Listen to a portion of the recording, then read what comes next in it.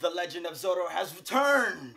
What is up, everybody? It's your boy R2, and today we're going to be talking about a very personal and one of my favorite characters growing up, Zorro. This news is a little late.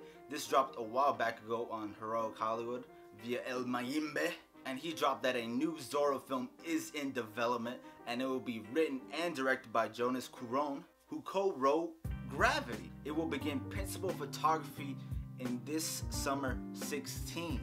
Now I'm really hopeful and excited. I really haven't seen Gravity or any of his work, but he has recently directed and written Desierto.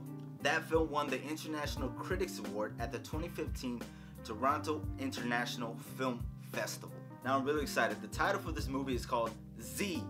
That's about it. Nothing too creative, just Z. Because really the previous two Zorro films took like the best names. The Mask of Zorro, one of my favorite films ever growing up and currently now, and The Legend of Zorro. Like really, they took the best names from this, and all they really got is Z. They could have called it El Zorro, but we'll just have to wait and see about that. Now, of course, if I had to choose who would play the fox himself, Zorro, I would choose Oscar Isaac, really. I think he can bring some seriousness to this role, because really, like I said before, El Zorro stands for fox.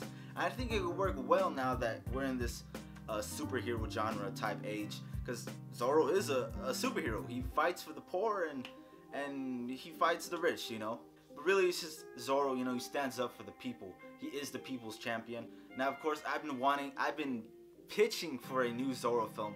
And of course, my dream cast, my fantasy team for a new Zorro film would have been written, directed by Quentin Tarantino, the man himself, starred as Oscar Isaac still, and then the sequel would have been a Django and Zorro team-up movie because there recently is a comic written, I believe, by Quentin Tarantino called Django and Zorro, which is them teaming up together, I guess, or fighting each other. I haven't read it yet, but it looks awesome. And I just would have loved that, man. I felt Quentin Tarantino could have done wonders with an El Zorro movie.